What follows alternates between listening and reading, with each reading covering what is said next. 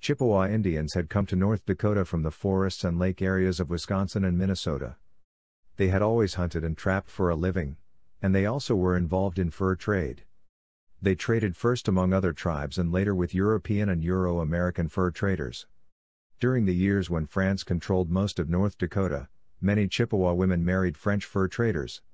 Their children, who were half Chippewa and half French, were called Métis, Métis, which means mixed blood. Men who later came from Scotland, Ireland, and other European countries also married Indian women from various tribes. The children of any Indian and white couple are called Métis. Through the years, descendants of the first Métis set up their own communities and developed their own way of life. This lifestyle blended parts of both the Indian and European cultures. The people dressed in a combination of Indian and European clothing, and their language was influenced by both of their cultures. By the 1820s, the Métis made up most of the population of the Red River Valley. Many Métis made their living by hunting or trapping on their own and then selling their hides and furs at trading posts. The Métis also became known as the Buffalo Hunters because they were so skilled in hunting bison. They went on semi-annual hunting trips into central North Dakota and sold great quantities of bison hides, meat, and pemmican to fur traders. Pemmican is a healthful food made of dried meat mixed with fat and dried fruit. The main source of income for many Métis was making and selling pemmican to hunting parties and fur traders. It was a major food source because it was so nutritious and easy to carry. The Métis also had contracts with the governments of both the United States and Canada to supply pemmican to their army troops.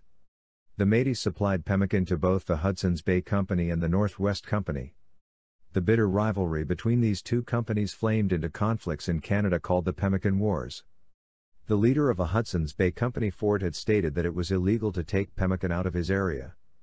The result of this announcement was that the Northwest Company burned their rival's fort.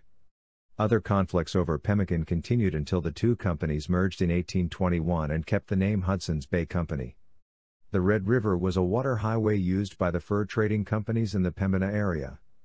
The Red River flows north, so traders shipped furs downstream to Fort Garry located at the confluence of the Red and Assiniboine rivers. From there, the furs traveled on the Nelson River to Hudson's Bay and then to the Atlantic Ocean. The furs were shipped to Great Britain or France. Manufactured goods were shipped back through Hudson Bay to Fort Garry.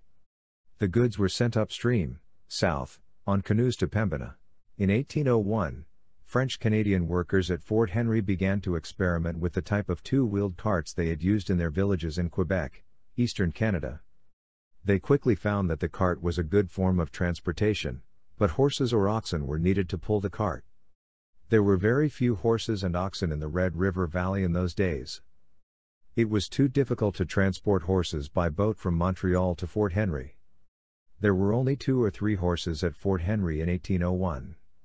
In the summer of 1801, Henry's employees went west to the villages of the Assiniboine Indians and traded for horses. They brought the horses back to the fort to use as draft animals, animals used for work. The men usually used the carts when they went to hunt meat. The carts were easy to load and could carry nearly 500 pounds or as much as five horses could carry on their backs. The carts came to be known as Red River carts. For many decades, Métis drivers built and used the carts when hunting bison and when transporting furs. The carts had two high wheels, about 5 feet in diameter, across. The cart was suspended between the wheels. Long poles connected the cart to the horse. The cart was made entirely of wood and leather.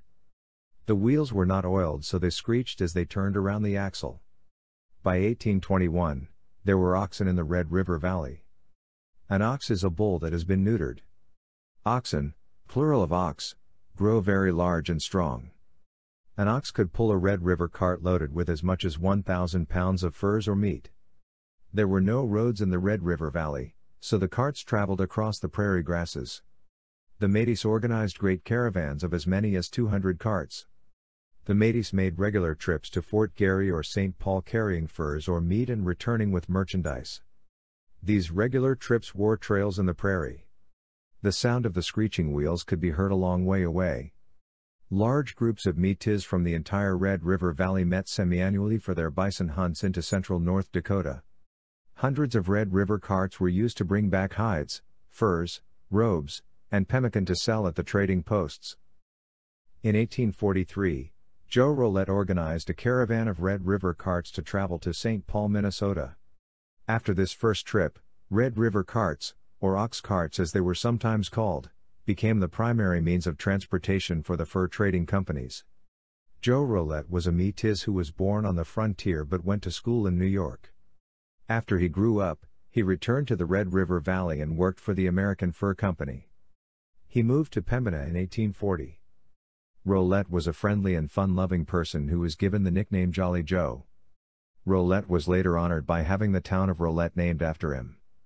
St. Paul was a trade center located on the Mississippi River about 400 miles southeast of Pembina. Furs and pemmican transported by Red River carts to St. Paul were shipped by steamboat down the river to St. Louis, Missouri. From St. Louis, they were shipped on the Ohio River to the eastern United States.